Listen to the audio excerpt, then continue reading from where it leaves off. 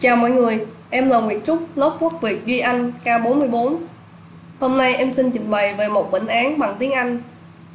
Sau đây em sẽ tóm tắt bằng tiếng Việt.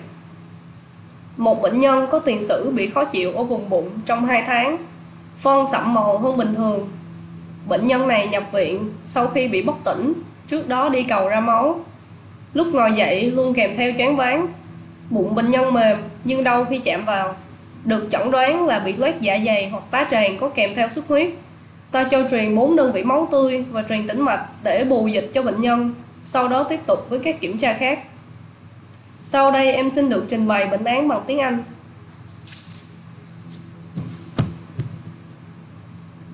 Patient A gives a two-month history of abdominal discomfort.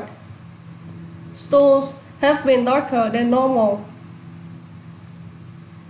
His wife had called the ambulance when he collapsed after having passed first blood rectally.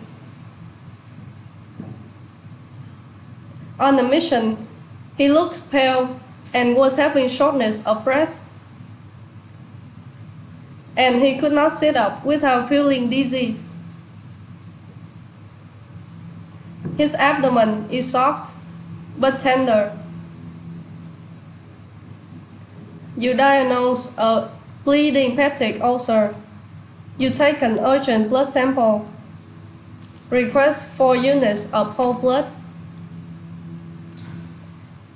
And start intravenous fluids for resume severe symptomatic anemia and fluid loss.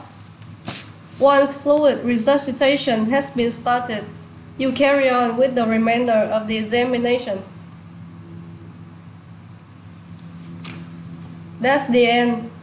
Em đã kết thúc phần trình bày bệnh án bằng tiếng Anh của mình. Cảm ơn mọi người đã lắng nghe.